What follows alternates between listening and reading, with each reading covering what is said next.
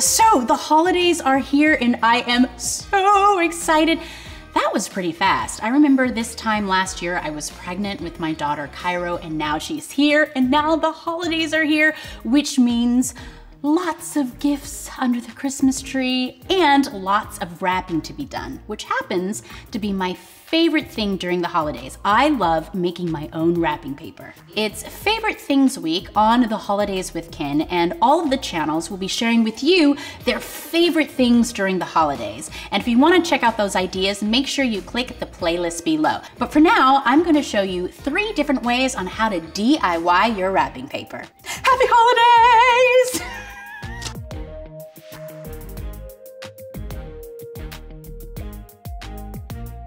So first up, I'm gonna show you how I make my own Christmas tree wrapping paper with cookie cutter stamps. What I have in front of me is some wrapping paper, but you guys, this is incredibly cheap. I'm telling you, sometimes wrapping paper can get really, really expensive, and then you have loads of it left over. Wrapping paper everywhere.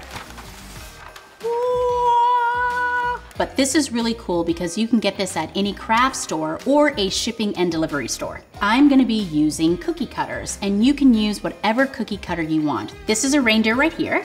This is a cute little snowman. What I'm gonna be using today is this cute Christmas tree. I've just poured some paint into this paper plate and I'm just going to dip my cookie cutter into the paint like so and then I'm just going to place it onto my wrapping paper.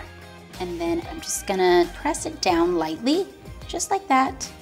And we have cute Christmas trees. See how easy that was? I think the kids would love doing this with their parents.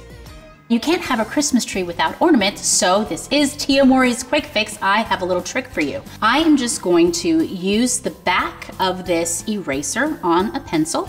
I'm just gonna take the end of my eraser and then make cute little ornaments. Oh, voila! this is so cool. It's beginning to look a lot like Christmas. And you're saving money. How cool is that? The color red and the color green, it just always reminds me of Christmas. Can't you tell I just absolutely love the holidays? I just shot two Christmas movies, not one, two Christmas movies back to back. One is for Lifetime and it's coming out soon, and another one is for Hallmark and that's coming out soon too. But in every shot, every frame, there's a Christmas tree.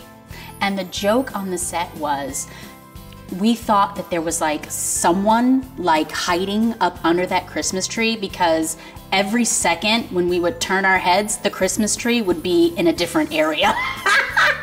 kind of like now.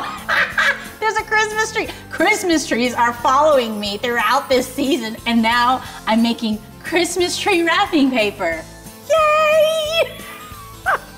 Once you get all of your ornaments on your tree, this is what it looks like. And again, you can use any stamp, any colors, and just have loads of fun making your own wrapping paper. Another way I personalize my wrapping during the holidays is by making my own gift tags. As you can see, these are cute little letters that I've made and it spells out Cairo, my daughter's name, and actually I've made them out of salt dough and I'm gonna show you just how I do that. I've just rolled it out and I've put it on some parchment paper so it doesn't stick and I'm just gonna take a cookie cutter and this is really cute because it's like a little light bulb. And I'm just going to press it down just like that. And we have a cute little light bulb. See how cute that is? So I'm just gonna place it on to this baking sheet. I have a star here and I have an angel.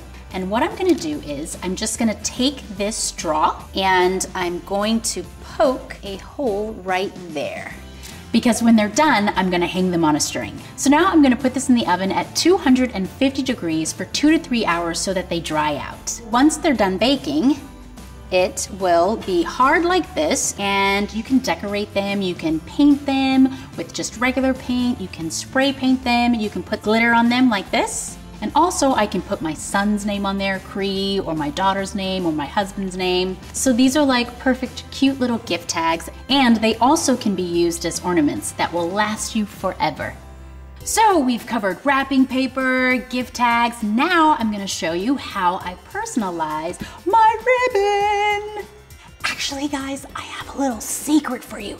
It's not really ribbon, it's washi tape. About you, but when I'm working with ribbon, I just feel like it just ends up all over the place, right? You don't know how short or how long it should be.